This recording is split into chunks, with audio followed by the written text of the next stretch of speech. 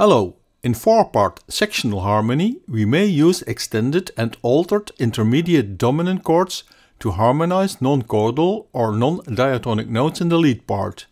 In this tutorial, I'll illustrate this arranging technique with two examples.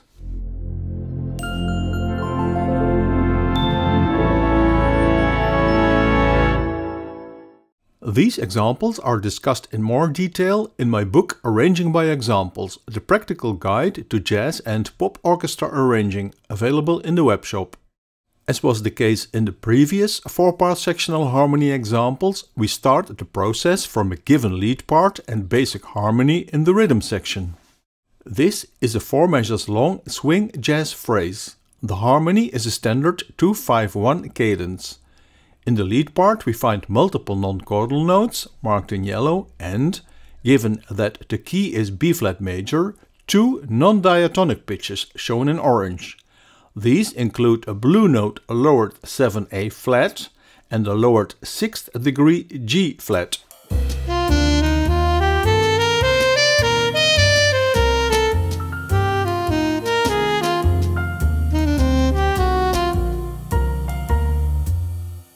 We'll use a subset of harmonization techniques from earlier episodes for the non-chordal notes in the lead. I'll illustrate these in the score example. The opening measure uses a set of diatonic parallel chords, as introduced in episode 7 from this series. These are written in close voicing and second or third inversion position. Next, there are many occurrences of the intermediate dominant chords from episode 1, here written as the equivalent diminished seventh chord voicing. In measure 1 there is also the connection of two minor seventh chords when the lead is stepwise moving through the 6-7 degrees, a case discussed in episode 5. The example contains three voicings with substitute chords, a technique introduced in episode 3. In measure 1, the E flat major 7 is equivalent to the C minor 9 chord. In measure 3, we use the F sus 9 chord as a voicing of C minor 7 over F in the bass, and the final measure has the D minor 7 as the equivalent of the B flat major 9 chord. Returning to the diatonic parallel chords in the ascending opening, we note the exact parallel F major 7 chord and hence the use of the E natural in part 4, in order to prevent the occurrence of the tritone interval A E flat. This was also discussed in episode 7. And finally, we note the acceptable repeated notes from episode 9 at the end of the phrase in the lower parts. Now it's time to introduce the new technique, the harmonization with extended and altered dominant chords. In this example, we will use these to harmonize the two non-diatonic pitches.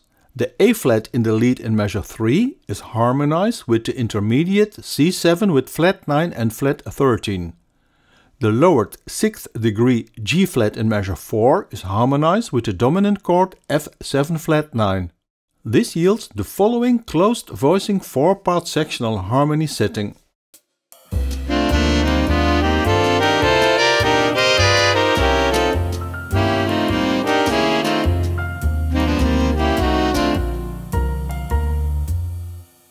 Let's inspect the individual parts and the combination of outer parts with the many consonant intervals.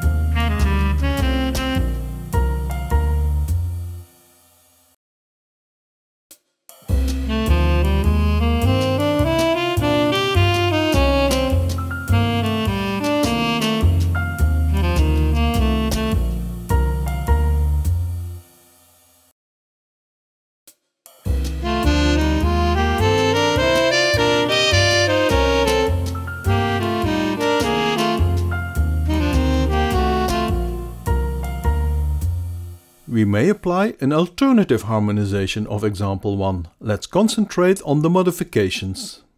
In the opening measure, we replace a number of diatonic parallel chords with the standard intermediate dominant chord G7 flat 9, here written as B diminished 7. In measure 3 we apply the new technique, creating a sequence of two altered extended dominant chords, G7 altered and C7 flat 9 flat 13.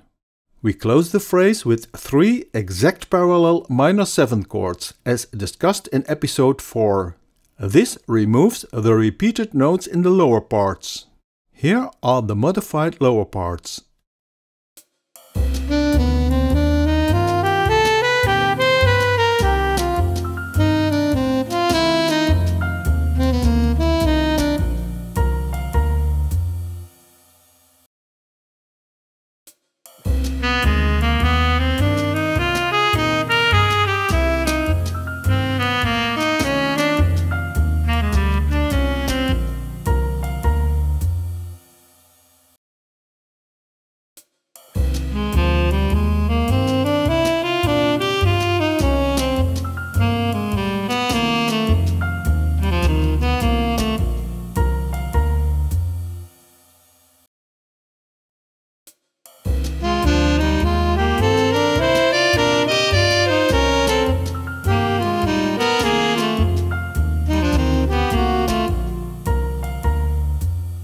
Compare the character of this alternative setting with the sectional harmony from example 1.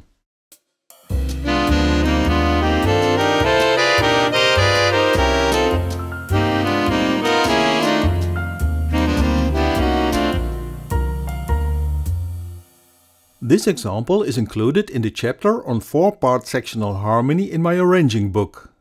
Order the book from the store on my website and receive your copy within 24 hours. You'll find the link in the description below.